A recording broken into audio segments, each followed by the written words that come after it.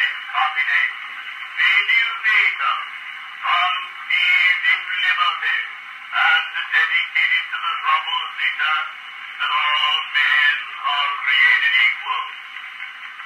Now we're engaged in a great civil war, testing whether that nation or any nation so conceived and so dedicated can long endure.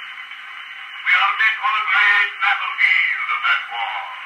We are meant to dedicate a portion of it as the final resting place of those who have given their lives that that nation might live.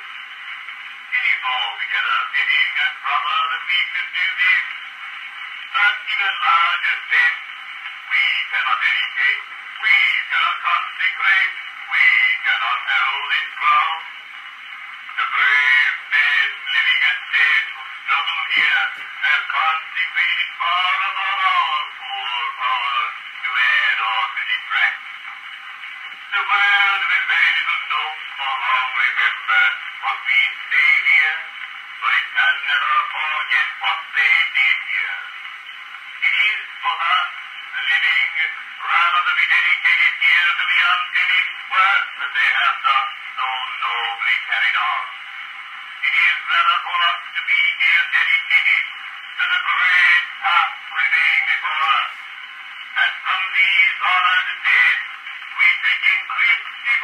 to that cause for which they here gave the last full measure of devotion.